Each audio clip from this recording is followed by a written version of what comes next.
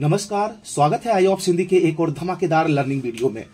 दोस्तों, आज की इस वीडियो में हम लोग समझने वाले हैं हेजिंग के बारे में। जी हाँ दोस्तों एफ़ ट्रेडिंग में ना हेजिंग का बहुत बड़ा रोल है, क्योंकि अगर हम हेजिंग करना सीख गए तो हमारा जो लॉस है ना, वो लॉस छोटा होगा और जो प्रॉफिट है, वो बड़ा होगा। तो अक्सर हम लोग ना, जो ऑप्शन बायर्स हैं, ये हेजिंग के बारे में ज़्यादा रिसर्च नहीं करते, ज़्यादा समझते नहीं है और ना ही ज़्यादा यूज़ करते हैं। तो आज की इस वीडियो में हम लोग हेजिंग करना सीखेंगे। सबसे पहले हेजिंग है क्या, इसको समझते हैं। उसके बाद हेजिंग करने का तरीका समझेंगे। और मैं आप लोगों को पहले आश्वस्त करवा दूँ कि आप लोग अगर ये सोच रहे हैं कि हेजिंग करने में मुझे एक लाख चाहिए, दो लाख चाहिए या पचास हज़ार चाहिए तो मैं आपको कह दूँ कि इतनी ज़रूरत नहीं है। अगर आपके पास पच्चीस हज़ार है, तीस हज़ार है ना तो भी आप हेजिंग कर सकते हैं। कोई दिक्कत नहीं है, उसका मैं आपको लाइव प्रूफ भी दिखाऊँगा। तो पहले आप हेजिंग के बारे में सीख लीजिए, समझ लीजिए कि हेजिंग है क्या। काफ़ी आसान तरीके से समझाऊँगा। तो मेरा आपसे रिक्वेस्ट है कि वीडियो को लाइक ज़रूर कर दीजिएगा और अपने दोस्तों में शेयर चैनल को सब्सक्राइब नहीं किए हैं तो सब्सक्राइब करके बेल आइकन को ज़रूर से ज़रूर प्रेस कर दीजिएगा। ओके तो चलिए अभी शुरू करते हैं और हेजिंग के बारे में समझते हैं। देखिए हेजिंग जो है ना नॉर्मली हेजिंग का मतलब होता है प्रोटेक्ट ठीक है? प्रोटेक्ट करना। अब प्रोटेक्ट कह लो इसको इंश्योरेंस कह लो मतलब जो भी कह लो, इसको टेक्निकल लैंग्वेज में हम लोग हेजिंग कहते हैं। आसान भाषा में इसको हम कहते हैं प्रोटेक्ट करना। अब देखो फ्यूचर्स में ट्रेडिंग कर रहे हो या ऑप्शंस में? ऑप्शंस में। दोनों में क्या होता है? हेजिंग होता है। और हेजिंग जो है ना, हमारे अभी ऑप्शंस मार्केट में फ्यूचर्स मार्केट में, जो हम लोग रिटेल है ना रिटेल कम्युनिटी के, ये लोग नहीं करते हैं, नहीं करते हैं। सिर्फ़ दो परसेंट लोग कर रहा है, बाकी 98 परसेंट हेजिंग नहीं करता है यूज़ ही नहीं करता है। उनके दिमाग में ना एक बहम बैठा हुआ है कि हेजिंग करने का काम जो है ना, वो सिर्फ़ बड़े बड़े ट्रेडर का है।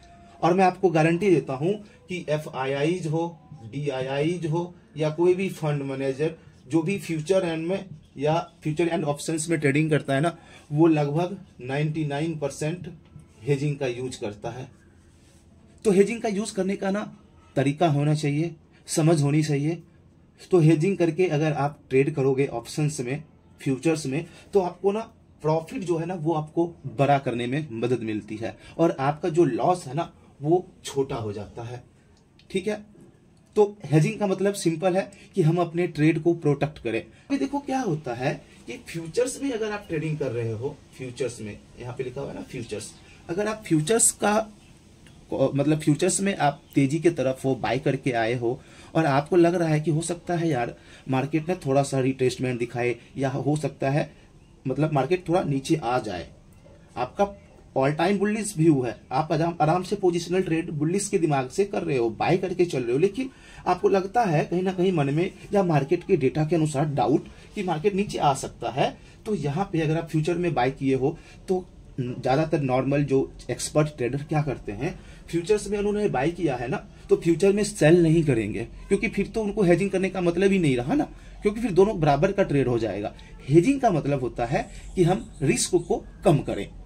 प्रोटेक्ट करें रिस्क को कम करें। तो अगर हमारे पास फ्यूचर का में हमने बाई करके बैठा है हैवी क्वांटिटी के साथ तो हम अगर प्रोटेक्ट करना चाहेंगे तो हम क्या करेंगे? हम ऑप्शंस में जाएँगे। ऑप्शंस में। और ऑप्शंस में अगर मार्केट गिरता है तो ऑप्शंस में या तो आप पुट बाय कर सकते हो, क्योंकि आपने ऑलरेडी बहुत सारा पैसा फ्यूचर्स में लगा रखा है तो आपके पास अगर फंड कम है तो आप जो है ऑप्शंस में क्या करोगे? पुट को बाय कर सकते हो। अगर लगता है कि नहीं मार्केट यहाँ से गिर सकता है। अब मान लो कि हम रिलायंस का फ्यूचर्स को बाय किए हुए हैं और रिलायंस ऊपर जाने वाला है, लेकिन अचानक से रिलायंस में न्यूज़ आती है और लगता है कि नहीं, यहाँ से दो परसेंट गिर सकता है। तो हम दो परसेंट का जो हमारा फ्यूचर्स में जगह बना हुआ है बाइंग किया हुआ है, उससे निकलना भी नहीं है। क्योंकि हमें तो ऑल टाइम लग रहा है कि नहीं रिलायंस आने वाला दो चार दिन, पाँच दिन में ये हमारा टारगेट देगा। हम बैठे हुए हैं। लेकिन अचानक से कोई ऐसा न्यूज़ आ जाए जहाँ से लगता है, नहीं, दो परसेंट गिर जाएगा, तीन परसेंट गिरेगा तो वहाँ पे जो फ्यूचर ट्रेडर एक्सपर्ट क्या करते हैं रिलायंस का क्या करते हैं, एक पुट ऑप्शन को बाय कर लेते हैं। हेज के तौर पे पुट ऑप्शन को बाय करके हेज कर लेते हैं कि अगर यहाँ से दो परसेंट गिरेगा भी तो हम जो फ्यूचर्स में बाय किए हुए हैं ना, उससे एग्जिट नहीं करेंगे। हम बैठे रहेंगे, लेकिन हम यहाँ से ऑप्शन में पुट को बाय कर लेते हैं। ताकि क्या होगा कि जो मेरा फ्यूचर्स में लॉस दिख रहा होगा वो मेरा कवर हो जाएगा पुट में प्रॉफिट दिखकर ठीक है? इससे फ़ायदा क्या होता है? सिंपल समझो। इससे फ़ायदा ये होता है कि अगर मार्केट में रिलायंस गिरा, ठीक है, दो परसेंट, तीन परसेंट अगर गिर गया तो इनका जो फ्यूचर वाला ट्रेड है, वो थोड़ा सा नीचे आएगा। हालाँकि बुलिस व्यू और ऑल टाइम बुलिस व्यू ही है। आराम से बैठने का प्लान है। तो वो एग्जिट तो नहीं करेंगे, क्योंकि एक बार अगर एग्जिट आप कर दिए ट्रेड को तो फिर आप ले नहीं पाओगे। तो अक्सर जो ट्रेडर होता है ना, वो जल्दी एग्जिट नहीं करता, अपनी पोजीशन को होल्ड करता है।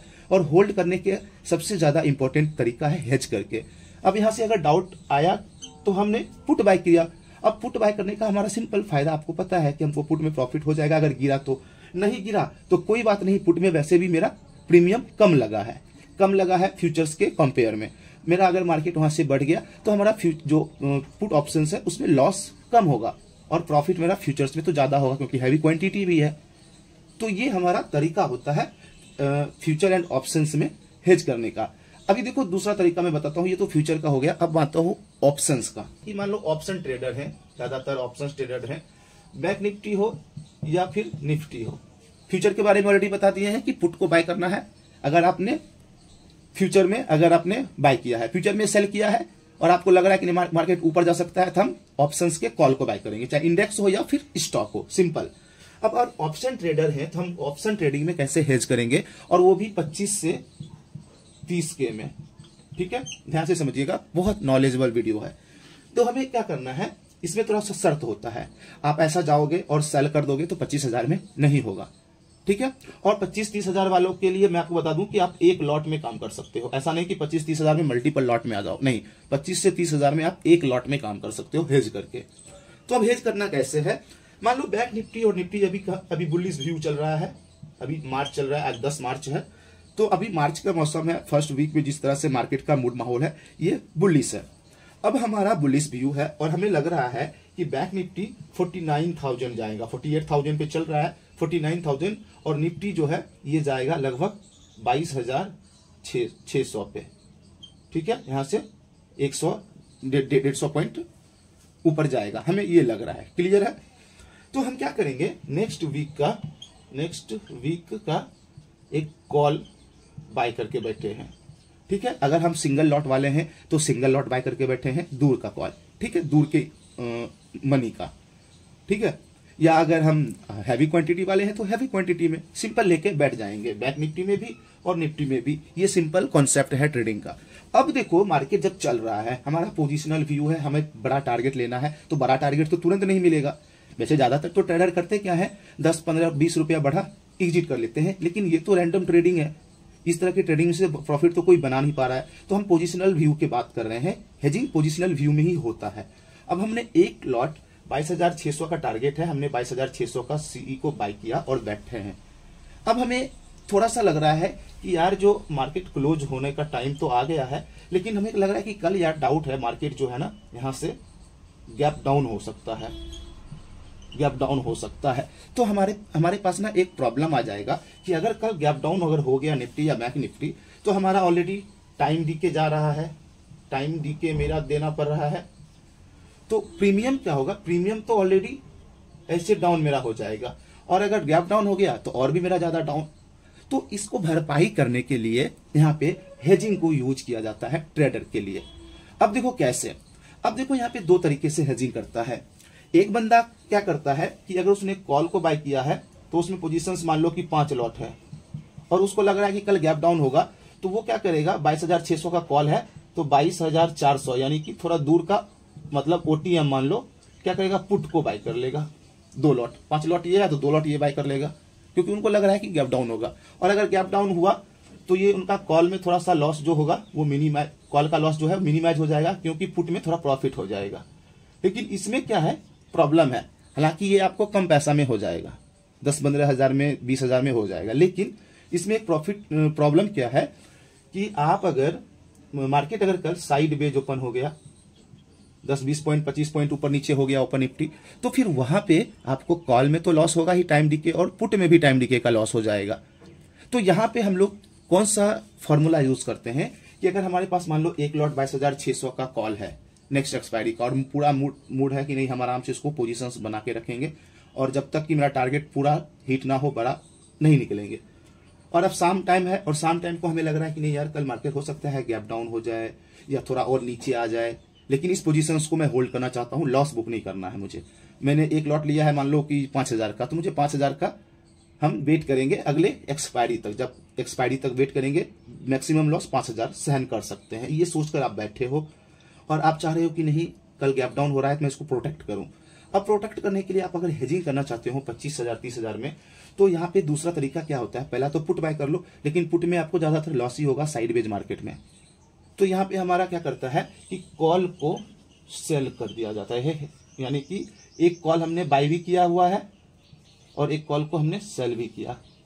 अब कॉल जो हमने बाई किया हुआ है, वो तो मान लो बाईस हज़ार पाँच सौ चल रहा है, बाईस हज़ार छह सौ का या बाईस हज़ार पाँच सौ का एट द मनी कॉल हमने बाई किया हुआ है। और मेरा टारगेट है बाईस हज़ार छह सौ बाईस हज़ार सात सौ का टारगेट हम रखे हुए हैं कि एक्सपायरी तक जाएगा, जो प्रॉफिट होगा हम गेन करेंगे। लेकिन अगर गैप डाउन का बात है तो हम इसको प्रोटेक्ट करने के लिए हेज करने के लिए हम एक लॉट क्या करेंगे? कॉल को ही सेल करेंगे ओटीएम अब ये ओटीएम कौन सा होगा? मान लो बाईस हज़ार छह सौ पाँच सौ चल रहा है, हमने बाईस हज़ार छह सौ का कॉल बाई किया हुआ है तो हम क्या करेंगे? बाईस हज़ार आठ सौ का, यानी दो सौ, तीन सौ ऊपर कॉल सेल करेंगे। ये, अगर आपने मान लो बाईस हज़ार छह सौ का मान लो कि खरीदा होगा हंड्रेड रुपीज़ में तो ये आपको मिल जाएगा लगभग आठ सौ का फोर्टी रुपीज़ में। फोर्टी रुपीज़ में मिलेगा। अब हम क्या किए यहाँ पे आराम से एक कॉल को सेल कर दिया और एक कॉल को मतलब बाय करके बैठ गए। अब देखो, कल मार्केट अगर गैप डाउन ओपन होता है, गैप डाउन, ठीक है? तो हमारा जो कॉल का पोजीशन, जो हंड्रेड रुपीज़ का था, मान लो कि सत्तर पॉइंट हुआ नीचे, सत्तर पॉइंट। तो सत्तर पॉइंट में हमारा जो कॉल का प्रीमियम, मान लो ट्वेंटी रुपीज़ नीचे आ गया, ठीक है? लेकिन ये जो फोर्टी रुपीज़ का है, ये फोर्टी रुपीज़ का जो हमने सेल किया था, इसका भी प्राइस तो नीचे आया होगा। तो ये ओटीएम था, दूर का। तो इसमें थोड़ा सा कम गिरावट होगी। तो ये फोर्टी रुपीज़ का मतलब है कि थर्टी रुपीज़ पे होगा। यानी कि हमारा इसमें बीस रुपया का लॉस तो हो रहा है, लेकिन यहाँ हमें दस का प्रॉफिट हो रहा है। अब मार्केट हमारे पास अगर ऑपोजिट भी ओपन हुआ तो हमें सिर्फ़ दस रुपया का लॉस दिख रहा होगा। ठीक है? तो ये हमारा हुआ हेजिंग अब देखो, इस पोजीशंस को हम कैरी फॉरवर्ड भी कर सकते हैं। कब? जब हमें लग रहा है कि नहीं मार्केट में एक सपोर्ट पर जाकर, ठीक है मार्केट फिर से बाउंस बैक लेगा। बाउंस बैक लेगा तो हम इसको होल्ड कर सकते हैं, क्योंकि हमने तेज़ी की, तेज़ी का पोजीशंस को हम होल्ड कर रखे हैं, ठीक है?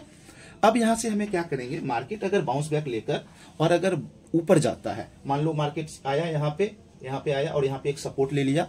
अब सपोर्ट लेने के बाद मार्केट अगर ऊपर गया तो हमारा क्या होगा कि जो एट द मनी बीस हज़ार, बाईस हज़ार छह सौ का जो सीई है, ये हमारा बीस रुपया जो लॉस था, ये रिकवर करके मान लो वन ट्वेंटी वन थर्टी पे पहुंचेगा। और ये हमारा जो तीस रुपया का था, चालीस में जो हमने बाय किया था सेल किया था कॉल ये तीस रुपया में मान लो ओपन हुआ। तो ये हमारा मान लो कि दूर का प्राइस है। तो ये अगर मान लो 120 गया 40 का गेन किया हमारा एट द मनी कॉल का तो हमारा ओटीएम जो है, वो हमें लॉस कितना करेगा? मान लो कि पंद्रह रुपीज़ पंद्रह का लॉस करेगा। क्योंकि ये ओटीएम है ना तो ओटीएम हमारा गेन कम करेगा। तो इस हिसाब से आप वेट कर सकते हैं कि आप चीज़ों को पहले अच्छे से सीखो, समझो एक्सपेरिमेंट करो। सीधा ट्रेडिंग से प्रॉफिट बनाने के चक्कर में मत करो, क्योंकि इसके चक्कर में सभी लॉस ही कर रहे हैं। हेजिंग करने का तरीका सीखो। पहले आपको बाई करना होगा फिर आप सेल करोगे तो ही आप 25 से तीस हज़ार में कर पाओगे। अन्यथा नहीं होगा।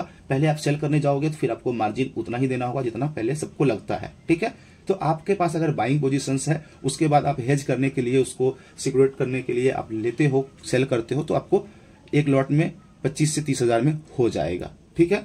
आपको मैं इसके ऊपर वीडियोस भी बनाया हूँ लाइव वीडियो भी अप स्टॉक्स में कैसे हम लोग करते हैं वो भी मैं आपको दिखाया हूँ। तो जाके उस वीडियो को भी देख सकते हैं। वैसे बहुत आसान है, आप लोग जाके खुद भी ट्राई कर सकते हैं।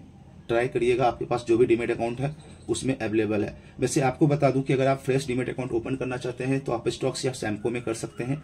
लिंक डिस्क्रिप्शन में दिया हुआ है। मिलता हूँ नेक्स्ट वीडियो में। थैंक यू जय हिंद